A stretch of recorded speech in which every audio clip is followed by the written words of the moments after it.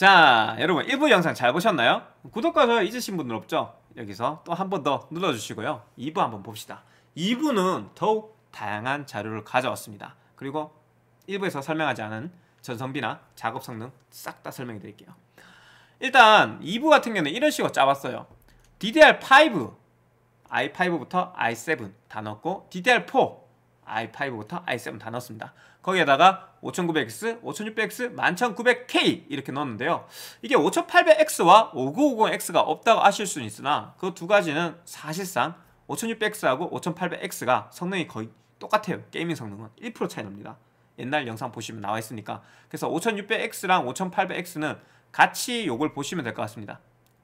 그리고 5900X랑 590X도 거의 게임 프레임 똑같이 나거든요. 1%가 차이 나요 요거 같이 보시면 됩니다. 그러면 AMD의 5000 시리즈는 싹 다 집어넣었다고 보셔도 무방하겠죠? 11900K 밑에 있는 11700이나 뭐 11600 이런 건 왜 안 넣었어요?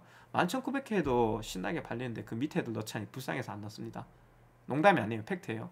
그러니까 인텔 11세대 쓰시는 분들은 그 여유가 되시면 11세대 사시는 거 좋다 라고 말씀드리고 그 밑에 거 없는 거 너무 아쉬워하지 말라고 보면 실망만 더 심하다고 어필을 하고 시작을 하겠습니다.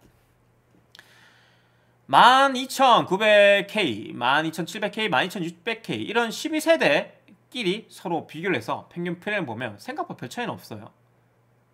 어, 롤 배그 같은 저사양 게임 포함하면은 그래도 차이가 좀 있는 것처럼 보이거든요. i9하고 i7이 야 10프레임이나 차이 나네. 그리고 i7하고 i5도 어, 꽤나 차이가 심해서 한 13프레임 차이 나는구나. 아 차이가 좀 있구나. 라고 볼 수 있는데 이걸 고사양 게임 위주로 보면 7종 게임 위주로 보면 배그 롤 빼서 그러면은 어 뭐 4프레임 3프레임밖에 차이 안 나? 비슷하네? 라고 볼 수 있습니다.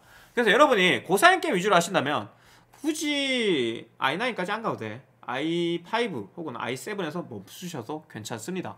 한데 저사양 게임을 많이 하신다면 i7부터 시작하는 게 좋을 것 같아요. i5는 분명히 등급 차이가 납니다.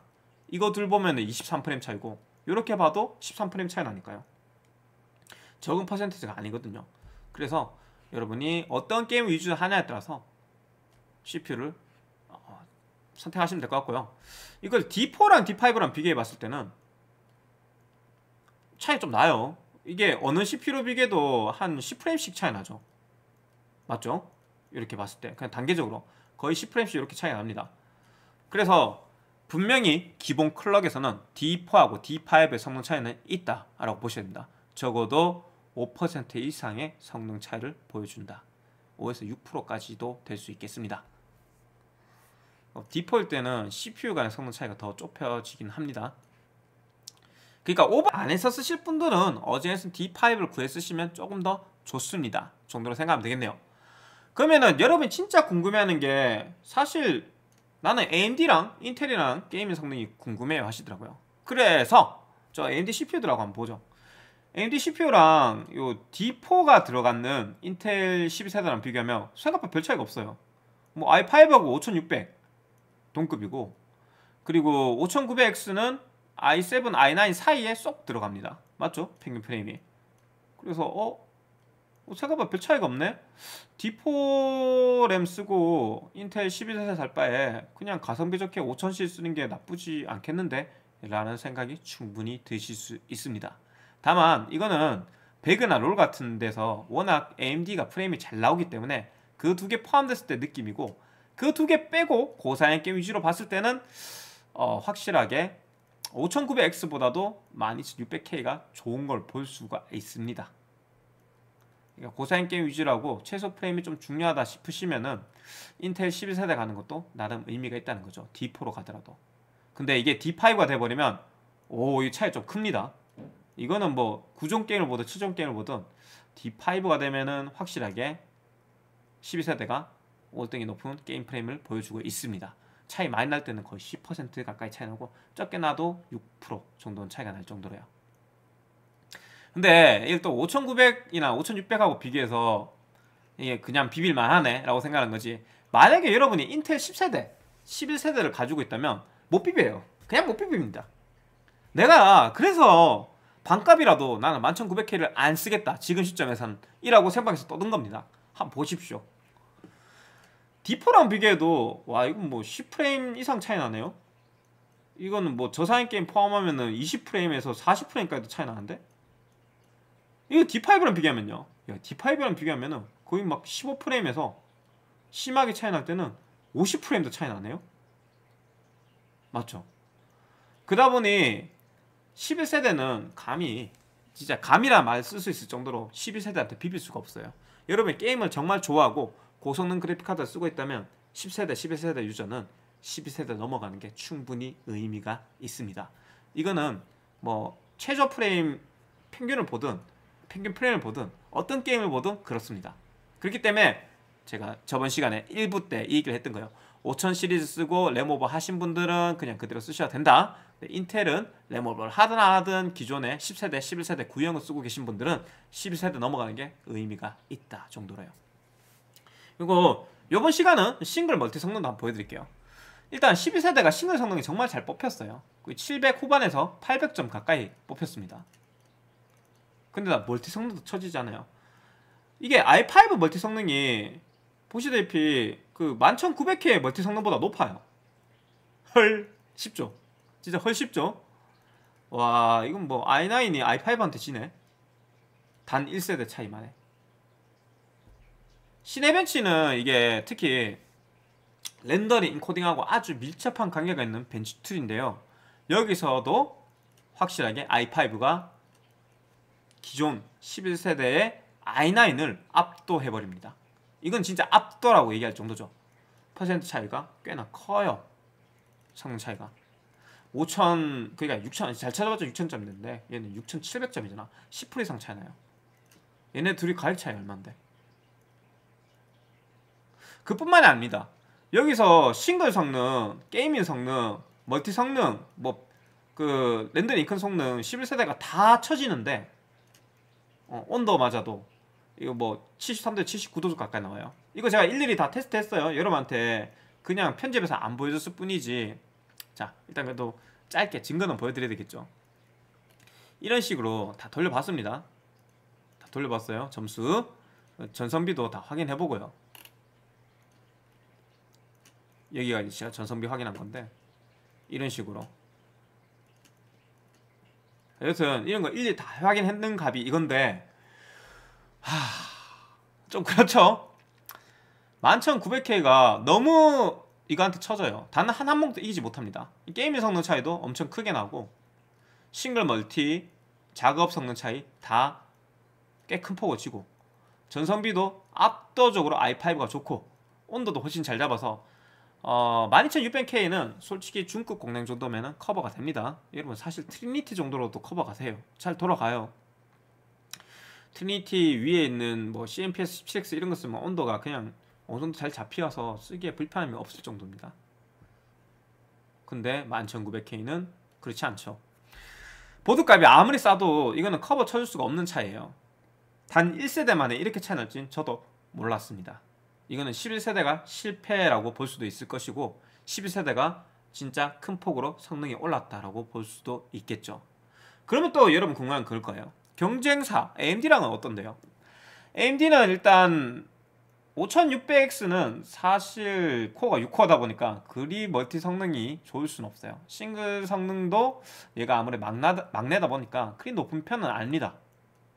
그렇다고 뭐 얘가 가격이 비싼 건 아니니까 솔직히 이거는 그냥 이해할 수 있는 수준이에요. 그래서 5800하고 가격이 비슷한 그 12세대 i5하고 비교한 게 가장 적합할 것 같은데 그러면은 미묘하게 12600K가 5800을 앞섭니다. 싱글 성능도 조금 이거는 폭 차이 나게 앞서고요. 멀티 성능도 멀티 성능은 많이 차이 안 나요. 미묘하게 앞서고 게이밍 성능, 성능도 5800X보다 12600K가 앞섭니다. 온도도 그렇고 전성비는 비슷합니다. 그래서 아 그 전성비도 솔직히 12600K가 조금 더 나아요. 그 모든 면에서 12600K가 5800X의 상위 호환 정도로 생각하시면 됩니다. 근데 그걸 또 5900을 가져오면은 그 i5한테 발리진 않아요. 5900은 확실히 비교 대상이 어느 정도냐면 i7은 비교됩니다. i7이랑 비교했을 때 멀티 성능은 보시다시피 엎치락 뛰치락 합니다. 시내 배치 점수는 살짝 처지고 CPU 지 점수는 살짝 높고 싱글 성능은 분명히 12700K가 좋습니다만 이게 막 크게 영향 끼치는 데는 별로 없으니까 약간 더 12700K가 빠릿하다 정도로 느끼시면 될 거고 작업 성능으로 봤을 때는 5900X랑 이 12700K랑 비슷하다라고 보시면 되겠네요. 그리고 전성비도 비교했을 때 12700K가 살짝 더 좋아서 5900X가 조금 처지는데 뭐 심한 차이는 아니고 한 30W 정도 차이로 보시면 됩니다.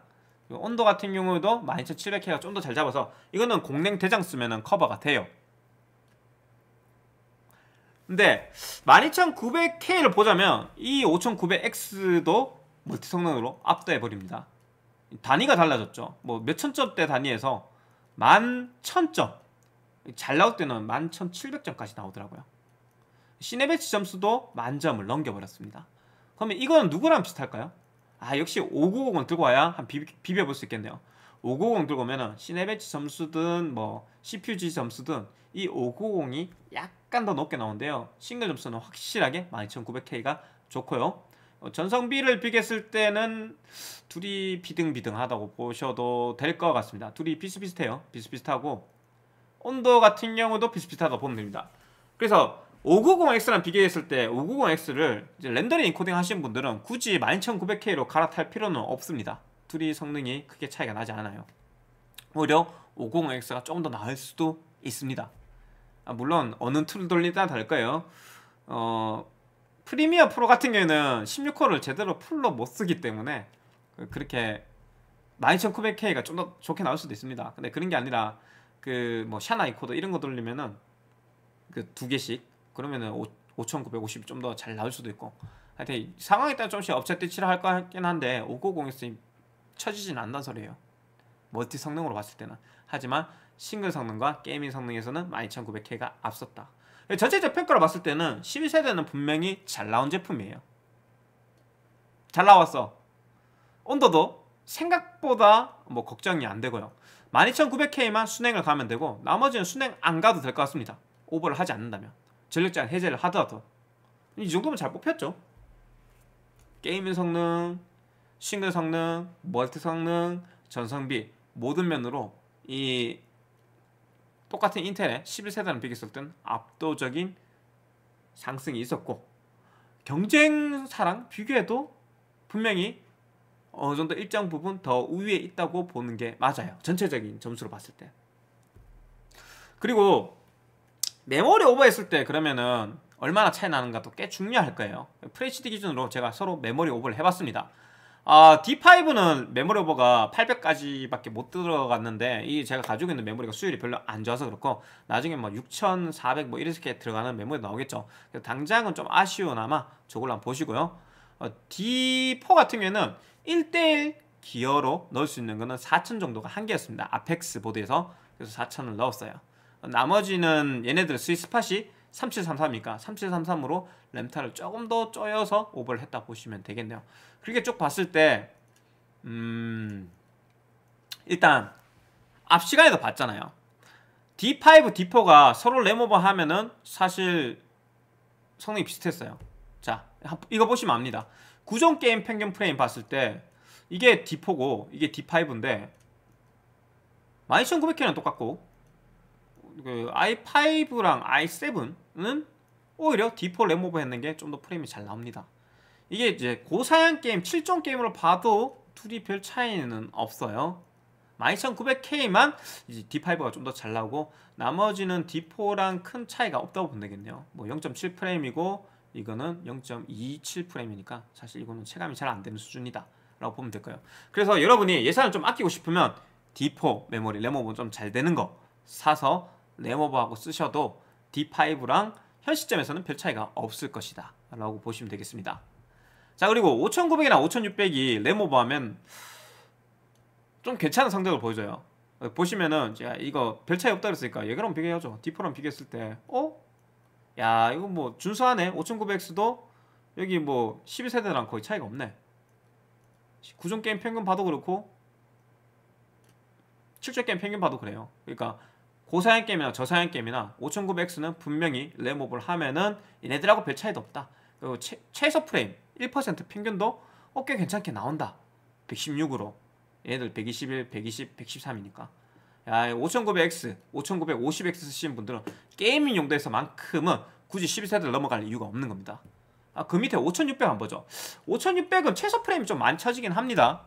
아, 이게 차이가 좀 나요. 뭐 14, 뭐 20 정도 차이가 막 나는데 그 평균 프레임도 한 10 정도 차이 나고 그리고 저사양 게임까지 들어가면은 많이 차이 날 때는 거의 20 프레임 차이 적게 차이 나도 어 아니다. 그래도 i5하고는 비슷하네. i5하고 비슷하면 그 정도 줄사다. 뭐 어쨌든 5900, 5600은 아직 게이밍 용도에서는 괜찮은 것 같아요. 가격을 생각했을 때는 전혀 나쁠 게 없다 정도로 볼 수 있겠다. 근데 11900K는 이거는 뭐 야 위에 거 보면 안 될 것 같아요. 얘는 그냥 바로 위에 있는 5600X랑 비교해도 내가 확실히 앞선다고 얘기 못할 정도니까. 특히 이 11900K의 가격을 생각한다면 레모볼하고도 저거밖에 되지 않는다는 건 너무 아쉬운 이야기겠죠. 결국 게이밍에서는 이렇게 결론을 낼 수 있겠습니다. FHD든 QHD든 인텔 CPU 쓰시는 분들은 분명히 뭐 오버를 하든 안 하든 10세대, 11세대보다 확실하게 12세대가 게임 프레임이 잘 나오기 때문에 여러분 3080급의 그래픽카드 쓰고 있다. 아니면 그 위상급의 그래픽카드 쓰고 있다. CPU 바꿀 의미가 있습니다. 그리고 다시 한번 얘기하지만 10세대, 11세대는 할인을 하더라도 고성능 게이밍 PC를 맞출 때는 적합한 CPU가 아니다 라고 보셔야 되겠네요. 그렇죠? 물론 뭐 i5 같은 경우에는 저 밑에 뭐 2060이나 3060 이런 거 조합했을 때 생각보다 큰 차이가 없을 거기 때문에 아직까지 메리트가 있다고 볼 수 있는데 진짜 i9, i7은 아닌 것 같아요. 그 중에 특히 i9은요. 10세대든 11세대든 하여튼 그래서 여러분한테 그거 한번 강조드리고요. 그리고 5900, 뭐 5800 이런 5000 시리즈 쓰고 계신 분들은 업그레이드 할 이유가 없다. 당장 뭐 갈아탈 이유가 없어. 게이밍 차이 별 차이 안 나고 작업에서도 우리 돈 주고 샀는 가격을 생각하면 충분히 뭐 인텔 대비 밀리는 거 없다 정도로 보셔도 될 것 같아요. 다만 신규 구매할 때는 가성비 잘 따져서 AMD 5000 시리즈 가느냐 인텔 12세대를 가느냐 계산을 하셔야 될 것 같습니다. 여튼 이렇게 결론 내드릴 수 있어요. 그래서 성조가 생각에 12세대는 어떤 제품인데 전세대 대비 확실하게 전성비, 온도, 멀티 성능, 게이밍 성능 모든 면에서 압도적으로 우위에 있는 제품이고 경쟁 상대인 AMD보다도 조금 더 소폭 높은 포지셔닝으로 올라왔다. 특히 게이밍인 만큼은 어, 다시 1위 자리를 탈환했다 정도로 볼 수 있는 제품이라고 생각합니다. 그러니까 우리는 이제 AMD가 이걸 어떻게 맞받아 쳐주는지 그것만 보면 됩니다. 이만큼 인텔이 갑자기 성능이 푹 오른 거는 AMD의 역할이 상당히 컸습니다. 그러니까 인텔 팬보이, AMD 팬보이로 나눠 싸울 필요가 없어요.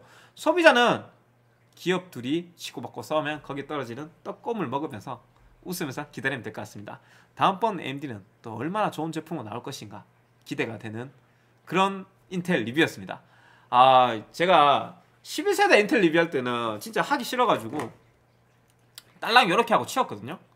근데 12세대 안 보세요. 12세대 표 이렇게 2페이지나 만들어가지고 그것도 다양한 CPU 집어넣고 비교했잖아요. 반대로 얘기하자면 진짜 잘 나온 거 맞다니까. 잘 나온 거 맞아요. 여러분. 12세대 신규 구매자는 아, 걱정하지 말고 사시면 될 것 같아요. 어차피 AMD 이제 신제품 나오면 내년 초라고 알고 있는데 아직 한 3개월쯤 남았잖아. 그러니까 당장 뭐 12세 사서 쓰더라도 뭐 크게 후회하지 않을까? 특히 게이밍에서만큼은 다음번 AMD 신제품이 나온다 하더라도 내가 보기에는 큰 차이가 없을 것 같거든요. 멀티 성능이 압도적으로 좋아질지 모르, 모르겠는데 그 특히 P코어, E코어 나누는 것 때문에 걱정하시는 분들이 많던데 윈도우 10을 사용했을 때는 생각보다 이게 똑똑하게 움직이더라고요. 확실하게 P코어에 자원을 몰아줘서 게임 프레임도 잘 나오고 주요 작업 같은 경우에는 그리 느리지 않게 충분히 돌아가는 걸볼수 있으니 약간의 버그는 각오하시고 원래 초기 출시하면 다 그렇습니다. 어, 충분히 쓸만한 제품으로 인텔 신제품이 나왔다를 어, 제가 결론 내리고 마무리 짓겠습니다. 시점 만점에 8점 드리겠습니다. 오늘 영상 여기까지였고요. 어, 요 영상이 많이 도움이 되셨다면 꼭 구독과 좋아요 잊지 마시고요. 마지막 3부로는 내장 그래픽 성능이 얼마나 향상됐는지 찍어서 올려드릴게요. 그거는 1, 2부랑 동시에 올라가지는 않을 겁니다. 시간이 좀 걸려서요. 그럼 이제 그 뒤에 뭐, 뭐 Z690 보드 품질 비교표 아니면 뭐 어, 느 정도 그 쿨러가 적합한가 혹은 뭐 오버클럭 하는 방법 이런 것도 차후 차근차근 다 올려드리겠습니다. 아, 오늘 영상은 진짜 여기까지. 자 준비 많이 했어요. 구독과 좋아요 눌러주실 거죠, 여러분? 빠이빠이.